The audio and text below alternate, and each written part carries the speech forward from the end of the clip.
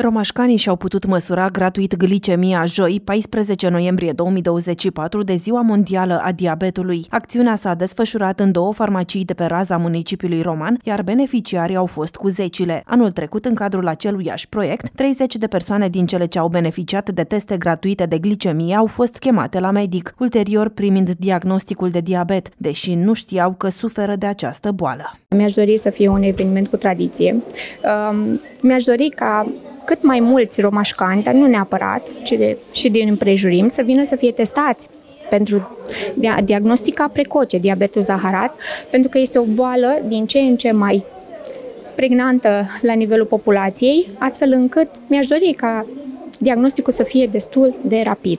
Ca și definiție, poliuria, polidipsia, polifagia și scăderea ponderală sunt ca simptome principale. Asta înseamnă că un presupus pacient ar putea prezenta simptome ca scădere ponderală importantă în ultimele 2-3 luni, de aproximativ 10 kg, chiar și mai mult, deși acest lucru s-ar putea confunda cu altă patologie. Dar, pe lângă această scădere ponderală importantă, urinatul frecvent, mai mult de 5-6 ori pe noapte, spre exemplu, sau polifagia importantă, apetitul crescut pentru anumite alimente, însoțite de aceste simptome, pot duce la un, la un semn că ar apărea diabetul zaharat.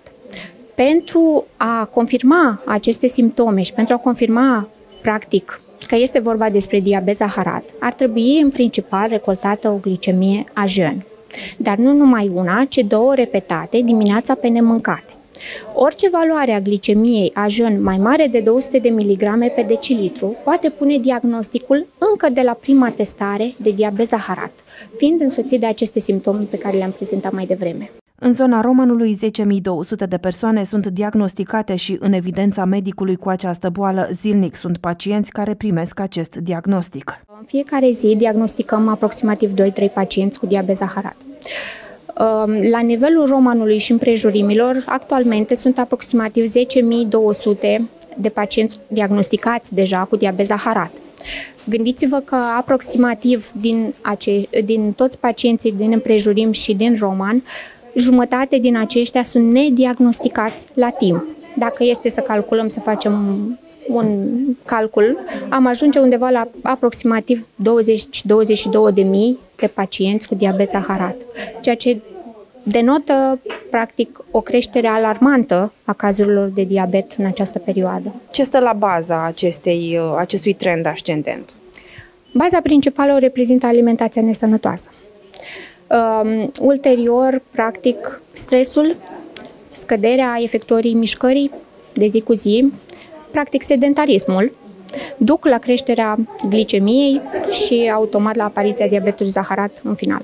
După amiază, după ora 16, în cadrul Fundației Episcop Melchisedec, la școala postliceală Episcop Melchisedec, va avea loc simpozionul legat de diabet zaharat. Anul acesta vom pune accent pe tema bunăstarea și implicarea diabetului zaharat. Evenimentul, coordonat de medicul primar diabetolog Adina Elena Leoreanu a Petrei, este ajuns deja la a treia ediție, fiind organizat de Fundația Episcop Melchisedec, Spitalul Municipal de Urgență din Roman, în parteneriat cu Rofarma, Farmacia Alfa și cu Liceul Teologic Episcop Melchisedec.